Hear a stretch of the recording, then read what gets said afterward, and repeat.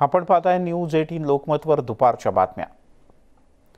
आत्महत्येच्या इशाऱ्याबद्दल राज्य सरकारनं अखेर दखल घेतली आहे. आत्महत्या किंवा आत्मदहनाच्या इशाऱ्यांच्याकडे गंभीरपणे बघण्याचे आदेश राज्य सरकारला राज्य सरकारनं दिले आहेत. राज्याच्या कृषी पशुसंवर्धन दुग्ध आणि मत्स्य व्यवसाय विभागानं याबद्दल एक परिपत्रकच काढलं आहे काही वेळेला काही व्यक्ती किंवा संस्थांच्या कार्यकर्त्यांच्या वतीने आंदोलन करताना आत्मदहनाचे इशारे दिले जातात आणि त्याकडे दुर्लक्ष केल्यानं अनुचित प्रकार घडतात.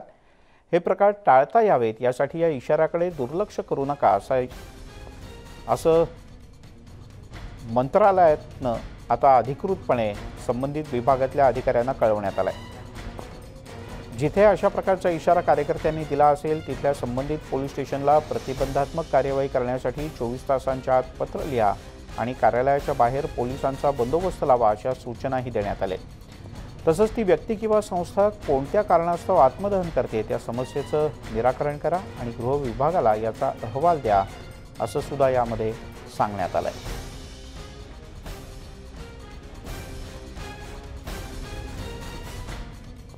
स्वाती लोखंडे आपले प्रतिनिधी आपल्यासोबत आहेत. स्वाती हे परिपत्रक काढताना नेमकं काय म्हटलंय?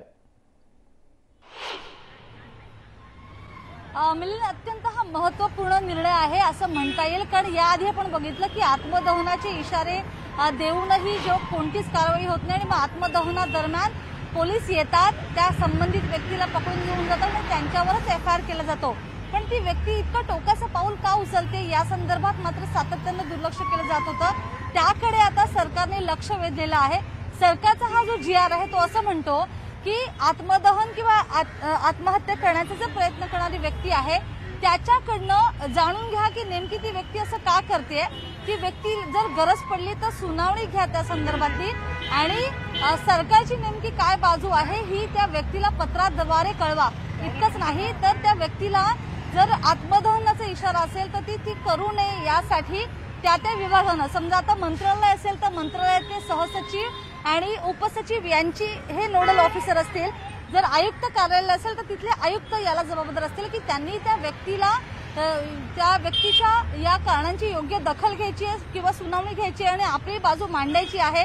संबंधित पोलीस स्टेशनला कळवायचं आहे की या व्यक्तीला असं करू देऊ नका आणि ती व्यक्ती जिथे करत असेल त्या जागेला पण म्हणजे जिथे करणार असेल त्या जागेला पण पोलिसांचं पूर्ण प्रोटेक्शन द्यावं असं साधारणतः हा जी आर म्हणतो.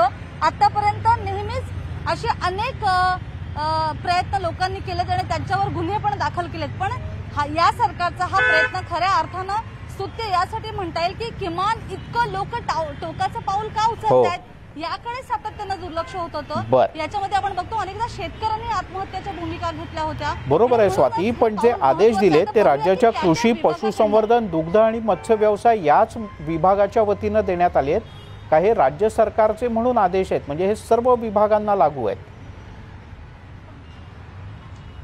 मिलिंद हा स- हा जी आर आहे याचा अर्थ असा आहे तो सगळ्यांना लागू आहे आणि या सगळ्या संस्थांनी त्याचं पालन करायचं आहे. हा पा- हा स्पेसिफिक जी आर या स्पेसिफिक विभागाने जरी काढला असला तर तो सगळ्यांना लागू होतो.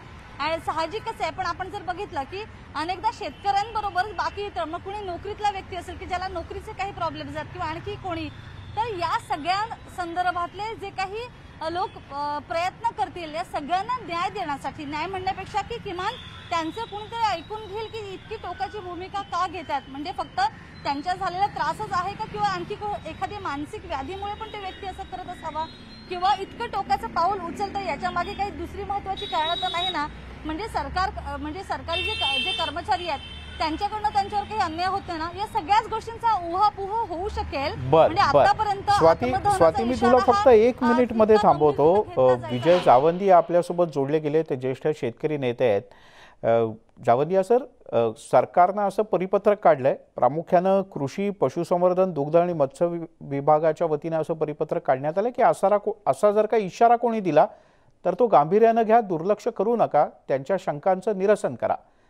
थोडासा दिलासा आहे थोडं प्रशासन माणुसकी दाखवायला लागलंय. नाही बिलकुल हे एक पाऊल चांगलं पाऊल टाकलं असं म्हणे पण मी त्याच्यापेक्षा पुढे जाऊन असं म्हणतो की सरकारने असं आव्हान करावं की ज्यांना ज्यांना त्रास आहे आर्थिक. ज्यांना ज्यांना आर्थिक देणी आहेत आणि नापिकीमुळे इतर कारणांमुळे घरात आलेल्या आजारपणांमुळे ते अडचणीत आलेल्या. सर आवाज तुमचा नीट पोहोचत नाही आहे काही थोडीशी तांत्रिक अडचण आहे. तुम्ही राहाच आपल्यासोबत. थोडीशी आपण ती अडचण दूर करण्याचा प्रयत्न करूयात. पण विजय जावंदिया या- यांचं असं म्हणणं आहे की अधिक सहृदयतेने किंवा माणुसकीच्या भूमिकेतून प्रशासनानं बघितलं पाहिजे शेतकऱ्यांच्याकडे. जाबंदिया सर आवाज येतोय आता व्यवस्थित? त्यांचा फोन कट झाला आहे बहुधा. स्वाती बरोबर आहे की एखादा जेव्हा असा इशारा देतो तर तेव्हा पहिल्याच आंदोलनाच्या वेळेला किंवा निवेदन द्यायच्या ऐवजी थेट असा इशारा देत नाही. एवढी तर एवढं तर आंदोलनातले लोक समजदार आहेत की जेव्हा तीन चार पाच वेळेला पाठपुरावा करून होत नाही वर्षोवर्ष त्याचा पाठपुरावा करून काहीच मार्ग निघत नाही तेव्हा असा इशारा दिला जातो. जावंदिया सर माझा आवाज पोहोचतोय तुमच्यापर्यंत? हो हो हो हो. माझा आवाज हा पोहोचतो तुमचा मुद्दा पूर्ण करा सर. हा नाही हे एक चांगलं पाऊल टाकलेलं आहे पण अशी माहिती मिळाल्यानंतर त्याची दखल घ्या वगैरे म्हणण्यापेक्षा माझं असं मत आहे की सरकारने असं आवाहन करावं की ज्यांना ज्यांना आर्थिक अडचण आलेली आहे त्याच्यामुळे ते निराश झालेले आहेत. ते जिल्हाधिकाऱ्यांशी तहसीलदारांशी संपर्क करू शकतील किंवा गावात गावाच्या सरपंचाशी संपर्क करू शकतील आणि त्या सरपंचांनी जिल्हाधिकाऱ्यांशी संबंध करावा आणि त्या लोकांचं सुद्धा ग्रीव्हन्सेस सोडवण्याचा प्रयत्न करावा. त्यांना मदत करण्याचा प्रयत्न करावा आणि त्यांना हिंमत द्यावी की तुम्ही घाबरू नका. तुम्हाला जर कोणाचे पैसे देणे आहेत तर तुम्हाला कोणीही त्रास देऊ शकणार नाही. सरकारी यंत्रणा तुमचं संरक्षण करेल. आणि तुम्हाला जर इमर्जन्सीमध्ये पैशाची गरज आहे आणि तुम्ही बँकेचे थकीत आहात तरी बँकेकडनं आम्ही तुम्हाला तात्पुरतं तुमचा आजचा प्रश्न सोडवण्याकरता तात्पुरती मदत जी काही दोन चार पाच हजाराची लागते ती मदत देण्याचा आम्ही प्रयत्न करू. तुमच्या शेतातलं पीक दुसरं उभं करण्याकरता आम्ही तुम्हाला प्रयत्न करू. पण तुम्ही निराश होऊ नका. यातनं मार्ग काढला जाईल. असं. आश्वासन जर सरकारने दिलं मला असं वाटतं तर ते फारच पॉझिटिव्ह होईल आणि मला असं वाटतं की अशा प्रकारचा प्रयत्न करायला काहीच हरकत नाही आहे खरं. कारण तो शेतकरी आपली चार एकर जमीन गहाण ठेवतो आणि त्याच्यावर कर्ज फारच कमी असतं बरोबर आम्ही एकच मागणी माग- एकच हे करतोय की हो. आम्ही सतत मागणी करतोय की त्याची जर तुम्ही त्याची चार एकर जमीन गहाण करता आणि त्याला दोनच लाखाचं कर्ज देता तर त्याची दोनच एकर जमीन गहाण करा ना आणि त्याची दोन एकर जमीन त्याची खुली राहू द्या ती गहाण करून त्याला पुन्हा कर्ज घेता येईल अशा पद्धतीने काही पावलं उचललीत मला असं वाटतं तर ठीक ती आहे. खरंच खूप चांगली गोष्ट. असेल कारण आता तुम्ही पहा आता या वर्षी आता पहा पुन्हा पाऊस आलेला आहे यांनी सगळं काही ठिकाणी. हो बरोबर आहे. ओल्या ओलं ओलं. नुकसान झालंय. म्हणजे अति पावसामुळे पुन्हा एकदा सोयाबीनचं नुकसान झालंय. भावही पडलेत खरं तर गेल्या काही दिवसांपासून. मार्फत मी सरकारला विनंती करतो की ओला दुष्काळ ताबडतोब जाहीर करावा. बर बर. जावंदिया सर धन्यवाद. तुम्ही न्यूज एटीन लोकमतशी बोललात त्याबद्दल. शेतकरी नेते अजित नवले सुद्धा आपल्यासोबत आहेत. नवलेजी कसं पाहता? थोडंसं सहृदयतेने बघताय सरकार? का हे केवळ पत्रकापुरतं आहे? सरकारने अधिक सरुदयतेने पाहण्यासाठीची संधी सरकारला उपलब्ध आहे. आत्महत्या करू पाहणाऱ्या शेतकऱ्यांचं काउन्सिलिंग करणं आवश्यक आहे की नाही नक्कीच का- काउन्सिलिंग करणं आवश्यक आहे. परंतु त्याचबरोबर आता सोयाबीनच्या जीएम पेंडीची जी या प्रकारे आयात करण्यात आली आणि त्यानंतर जे धाडक्यात दर कोसळले त्यामुळे जो मानसिक धक्का शेतकऱ्यांना बसणार त्याचं काउन्सिलिंग कसं करायचं हा तुमच्या आमच्या समोरचा प्रश्न आहे. आणि म्हणून मानसिक काउन्सिलिंग करण्याच्या बरोबरच अशा प्रकारचे मानसिक आणि आर्थिक धक्के हे शेतकऱ्यांना बसणार नाही. याची सुद्धा पुरेशी काळजी वेगवेगळ्या सरकारांनी घेण्याची आवश्यकता आहे. सरकारने तीही घ्यावी हेच या निमित्तानं मला असं वाटतं आपल्या माध्यमातून सरकारपर्यंत पोहोचू इच्छितो.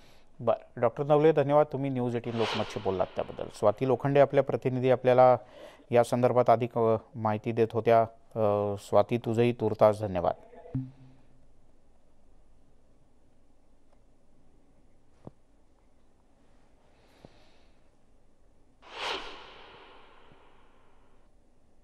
बुलेटिनमध्ये घेऊयात एक छोटासा ब्रेक लगेचच परत येतोय.